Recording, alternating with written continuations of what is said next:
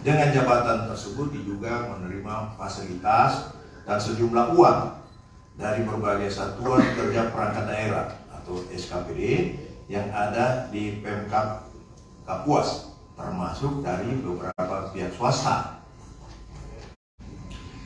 Yang selanjutnya AE ini selaku istri dari bupati sekaligus anggota DPR RI juga diduga aktif turut campur dalam proses pemerintahan. Antara lain dengan cara memerintahkan beberapa kepala SKPD untuk memenuhi kebutuhan pribadinya dalam bentuk pemberian uang dan atau barang mewah. Sumber uang yang diterima BBSB dan AE berasal dari berbagai pos anggaran resmi yang ada di SKPD pemerintah Kabupaten Kapuas.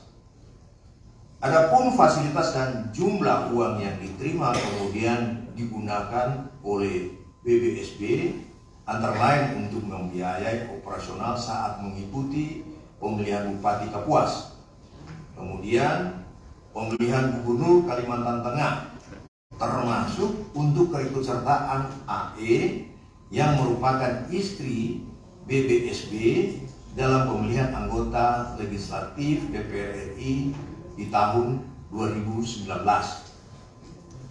Terkait dengan pemberian izin lokasi perkebunan di Kabupaten Kapuas, BBSB diduga menerima sejumlah uang dari pihak swasta.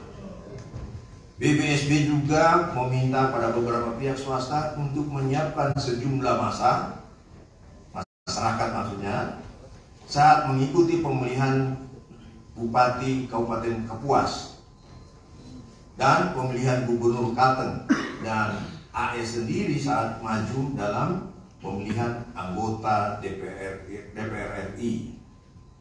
Mengenai besaran jumlah uang yang diterima oleh BBSB dan AE jumlahnya ini sekitar 8,7 miliar